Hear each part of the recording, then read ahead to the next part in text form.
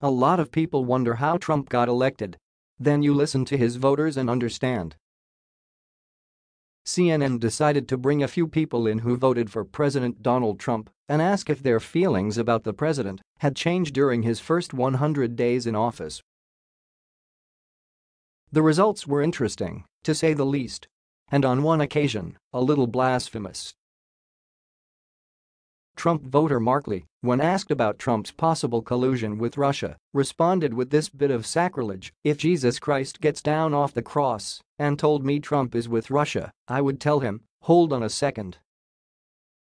I need to check with the president if it's true. But Mr. Lee's heresy was just one of several highlights provided by the panel. Anchor Alisyn Camerota referred the voters to Representative Jackie Speier's remarks questioning Trump's mental stability. Panelist Jimmy Dozier replied, he has made millions of dollars. He knows what he's doing.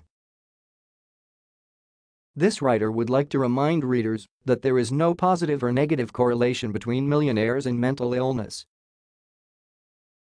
As Trump supporters are typically inclined to do, Hillary Clinton was brought up negatively several times in an effort to make Trump look better.